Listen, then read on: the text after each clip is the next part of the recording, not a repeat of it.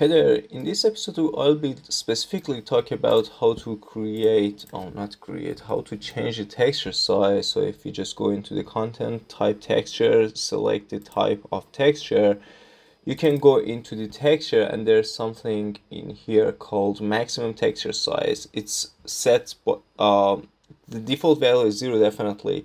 Uh, and it means that whatever you import to, import to the game, it will be the uh, the final size of the texture. In this case, it's gonna be 10 megabytes roughly, which is a lot when you're working on mobile devices or uh, when you're running low on storage and you want to just reduce the size of the package of your game. Um, so let's go ahead and do that. The first thing you have to do, we are going to create a script for it. It's called, uh, let's go ahead in the edit plugins. It's called just type in scripting. Uh, editor scripting utilities. If it's not turned on make sure that this is turned on and uh, after that you'll probably have to restart the editor so make sure you do so. And then you just go into the blueprints folder. I mean you definitely have to create a blueprints folder if you don't have one um, make sure you are working neatly and everything's just in place and make sure you follow the naming conventions. These are really important. So in the blueprints folder right click now in the editor utilities you have two options. I'm not going to talk about the widget right now. Widget mostly gets used in uh, when you want to work with the actors in the scene. In this case i'm gonna i'm going to create a blueprint because I want to work on assets instead of actors right now. I mean, you can definitely work on actors with the blueprints as well, but right now I'm just working on assets. So if you want to, you can go ahead and search whatever you want, but at this moment we are going to be using asset action utility. Uh, make it, uh, name it something, BLU, follow the naming convention, and then test, for example. I've already created it, so I'm just going to delete what I've created just now. Um, and then open it up. The first thing you have to do is go to the class defaults and make sure you add one class. Uh, click on this one. Um, and then in here, type in texture go all the way down until you find texture. The supported class should be uh, on this. Texture should be set on texture. If not it won't work. If you're working on Unreal Engine 4 it's uh, it doesn't work like this. You need to go into this so instead of two override uh, functions in the blueprint you have three in Unreal Engine 4 so you just go ahead and uh, click on this and you have something else called supported classes. Just click on that and instead you'll have something like this. And instead just delete this and in here make sure you choose texture. I mean I'm working right now I'm working on Engine 5 so I can't really show you anything. Okay so right now we have to create a function. Just type function test so I've already created it. I don't need to do that anymore. Double click on it. You go into the function and the first thing you have to do get selected actor so it means that when you go into the content type when you type in texture um, and when you select them because you want to bash them all together and uh, work on them on a mass scale right? So we have to first get them all so we know what we're dealing with. So get selected actors, just type in get selected actors, assets, I'm sorry, get selected assets. And then we are going to have to do a loop, obviously. So just come in here, loop, a for each loop. And for every loop it's going to cast to texture because we're working on texture if you're working on static meshes you need to um, both have the supported class set to static mesh and then cast it to static mesh. In this case, we are just going to cast to texture here. so for every texture that is get uh, getting cast to textures and are successfully casted we are going to create a copy for undo buffer. This is important because sometimes we probably have done something that we don't want them so we could just go ahead and undo them. If we don't copy it into the undo buffer we can't do that. So just go ahead and undo create copy for undo buffer and then so this is just to make sure that the texture we're working on right now and we want to check is not set to um, something else before. So we don't want to do something twice so it just sa says that if the maximum texture size is more than 512 or if you want to you can just go ahead and change it to 256 that doesn't matter. But all it's saying is that this is not changed right? This is not touched at all. So if I change it to for example 256 then it won't work.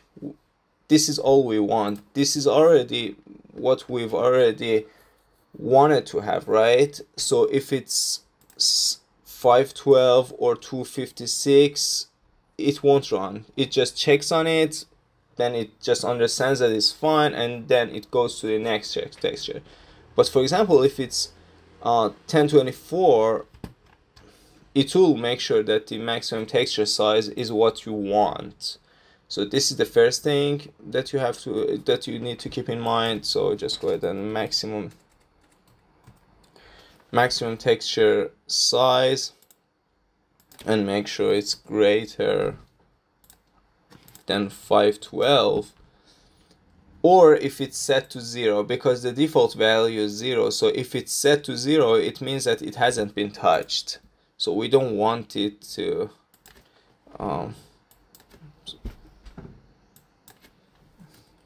do anything if it's in the default value um, or boolean and you just type them together. And this is another um, condition that we need to have because the MIPGen settings, if you're working on um, user interface textures, most of the times you uh, probably have something that's not a power of two texture. So this is something else. I mean, I'm, I'm not going into the details very much, but some people tend to create user interface, which is wrong. I don't really accept it, but some people tend to create user interfaces uh, with some other sizes, like a Full HD, which is not a power of two, like 1980 by um, 1280, I guess. Nine, oh, 1920 by 1280. That's that's not acceptable, and that's not a power of two in a game engine. If you're working on a motion graphics, then fine. But in a game engine, everything has to be a power of 2. But if it's not a power of 2, then it's not a from texture group. The,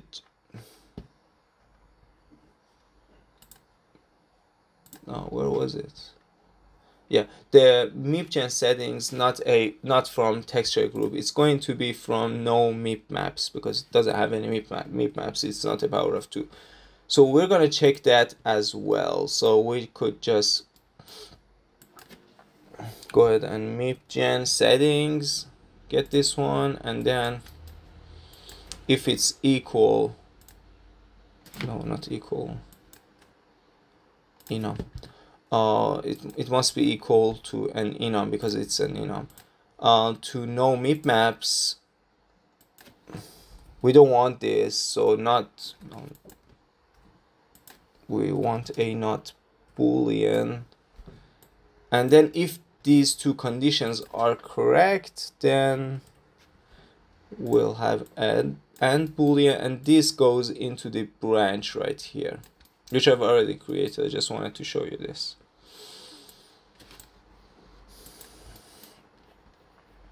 and then if it's correct if it's just um, all the conditions are correct, then we have to change some things, right? So that's the tricky part. That's something that you can't really find it easily on the internet. I, I mean, I dug a lot about it. So get path name for loaded asset and once you got the name of it you can just go ahead and use the name to print it out but later on. And then you can just set editor property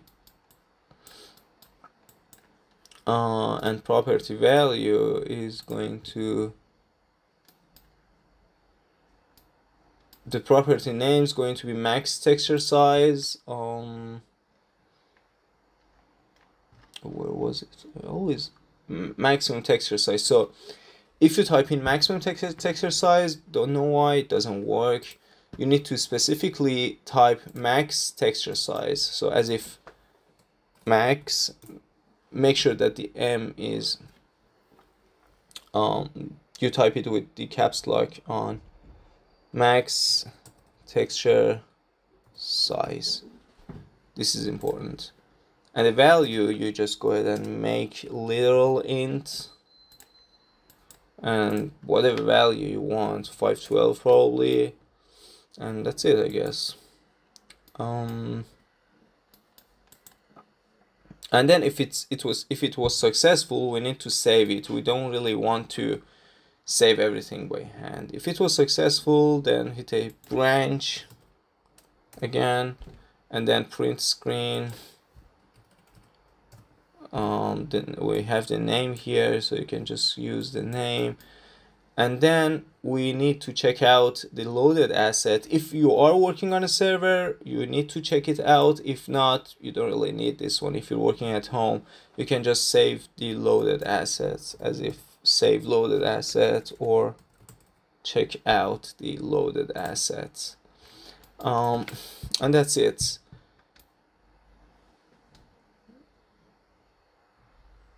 So I'm just going to show you everything. If you want to make sure everything's fine you have no mistaking everywhere whatsoever. Okay now that we've created it the way we can use it is very simple. You can just go ahead and uh, make sure select shift select for example these five textures I want to make sure that they're all set to 512 because as I told you um, it's a really big texture and this is 10 megabytes. Look how small it will get when I um, use this uh, scripting asset. So you have the when you right click on them scripted asset actions default texture size change to 512 this is what I've named the texture size change to 512 this is the function we've created. Right click default texture size change to 512 and bam, everything's 512 it was 10 megabytes now look how small it is. 171 kilobytes not even a megabyte not even half a megabyte. 171 kilobytes. So this is pretty important. If you are working on a game it should be optimized for the people. Because if you don't optimize your game for people it means that you don't respect them. To respect your audience optimize your game. If you feel like a texture is too big for your material or for your scene just make sure it um, has the appropriate size that is important so all the textures are 341 100 something all textures are smaller than usual, so these textures can be used in mobile devices as well. Um, and that's pretty much it. I hope you enjoyed this tutorial, and if you did, please hit that like button. Have a great day. Bye.